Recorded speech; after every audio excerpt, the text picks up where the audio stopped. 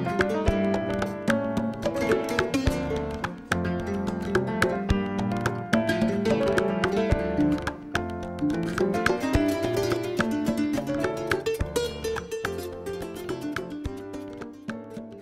asociación EducaBlas estamos trabajando en Dakar cerca de las canes y Bassor. Eh, empezamos hace algunos años a construir y un poquito más tiempo a a formar la asociación. Ya está construido, queda todo un reto.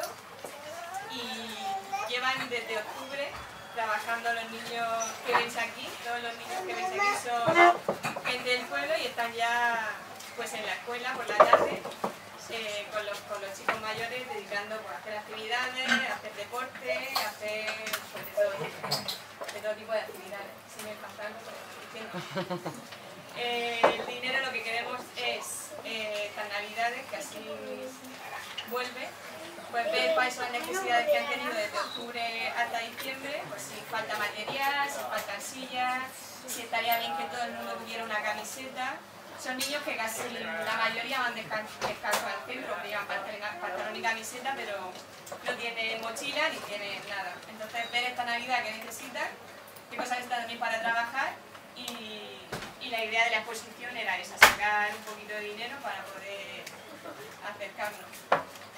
También este puesto que tenéis aquí está en internet.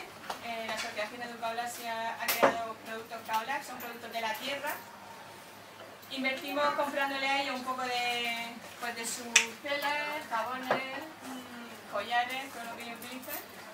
Y lo que vamos sacando pues también vuelve a ellos. Entonces pensamos que era una buena idea empezar a, mover sus productos ya que aquí pues son también bienvenidos. Voy a presentar a Salva también, después de que hable así, que ha creado otro pequeño proyecto junto de la asociación. Van saliendo pequeños proyectos. Estamos abiertos a todo el mundo que tenga proyectos quiera hacer cosas con nosotros, desde hacerse socio hasta, yo que sé, cualquier idea. Salva un día tuvo esa idea, hablaron y, y hoy pues se ha hecho realidad su idea. Presento a Sis, el presidente de la asociación, Sis Diu y nada, y él va a contar un